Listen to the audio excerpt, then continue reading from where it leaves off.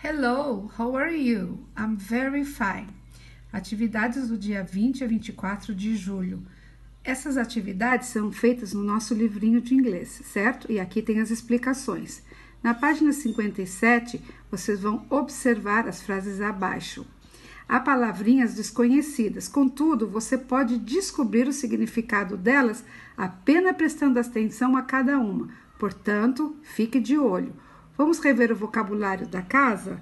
Aqui nós temos bedroom, kitchen, garden, bathroom and living room. Uh, no exercício da página 58, vocês vão ler as palavrinhas que estão nas figuras, né?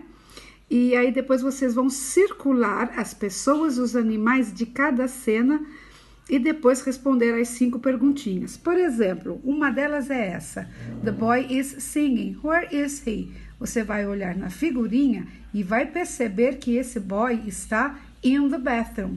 Então você vai dar a resposta He is in the bathroom. E assim deve fazer com todas.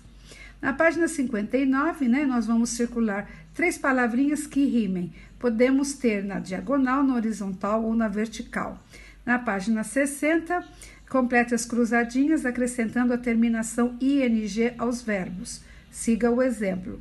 E finalmente nós temos mais musiquinhas aqui. Um grande beijo.